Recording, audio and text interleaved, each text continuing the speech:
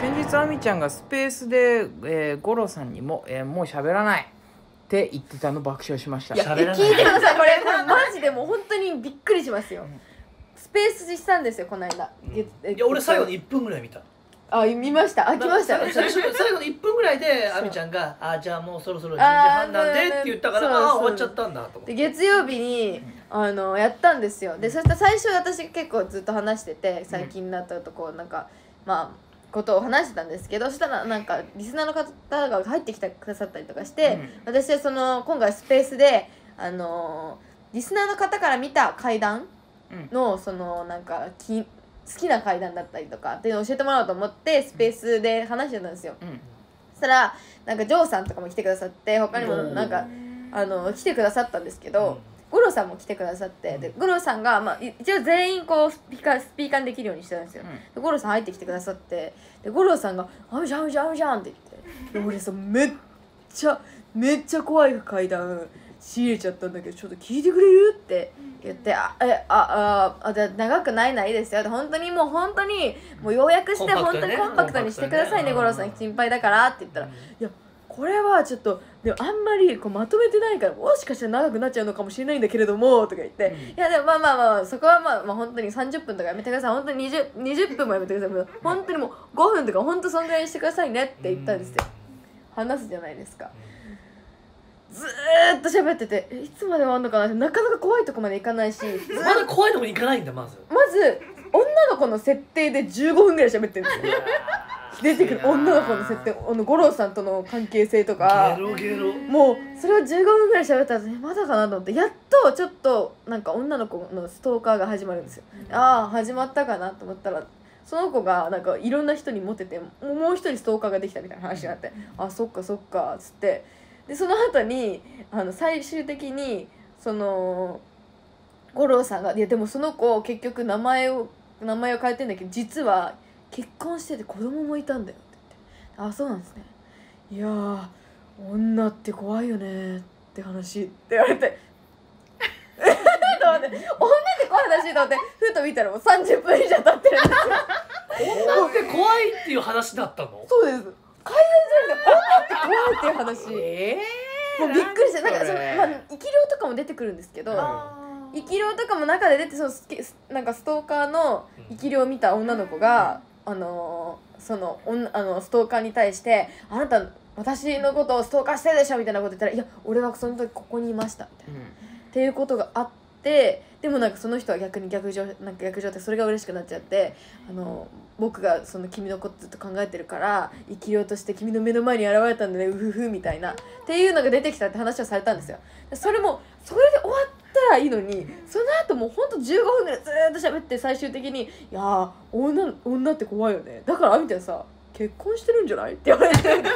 もう本当にもうあそれが何？もうその結婚してるんじゃないが決めなのかな？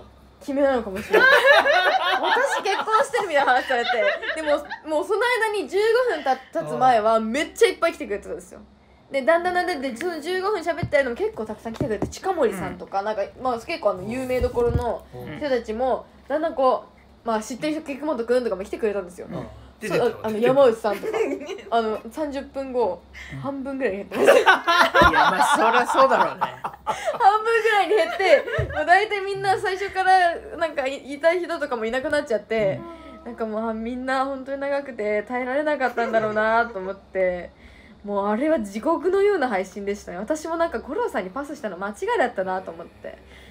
もうなんかもう中あいやでも今い今の俺話で思い出したけど俺が30ぐらいの頃に、うん。俺の25 5歳ぐらいの映像の後輩がいいたんですよ、でその25歳ぐらいの後輩があのちょっと今度女の子紹介してもらうんですよ。ってほうほう。ほうでその紹介してもらうのは録音の女の子だったの。はい。録音の女の子が女の子何人か連れてくるっていうから「ちょ夏目さんついてきてもらえますか?」って言ってあの1対1怖いから。うん。でだからいわゆる向こうは2だから。だから21ちょっと怖いから夏目さんも来て22にしてくださいって。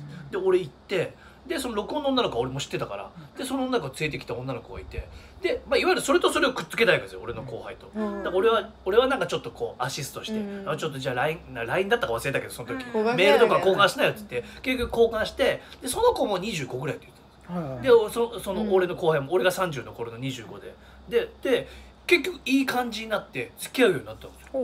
で付き合うようになって1年ぐらいして2年ぐらいしたからかなで結婚するみたいになって。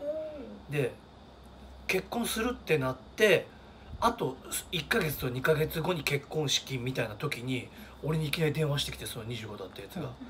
その彼女が40だったんです。ってええって言ってだけどもう別にまあもうどうしようもないじゃん。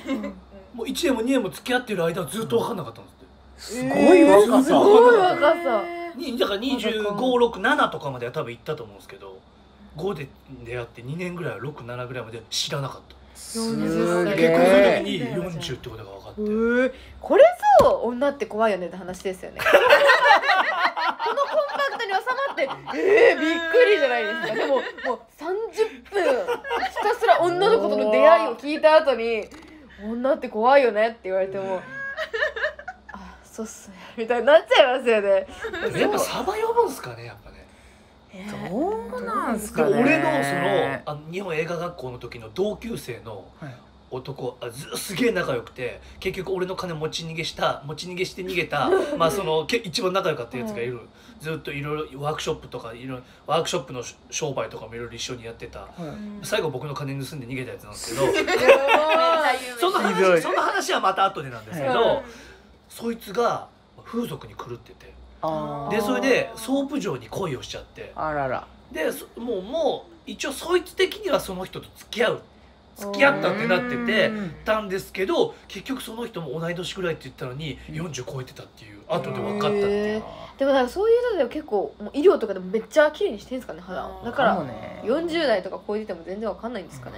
僕もこの間あの新宿歩いてて会社行こうと思ってバーって新宿の地下通路バーって歩いてたら正面からなんかちょっとなんか手はつないでるけどちょっとよそよそしいみたいなカップルがブーンって来たらその男の人が「うん」すかおはようございますって俺の方になんかおいおいえ誰？と思ってパッて見たら土井さんでした。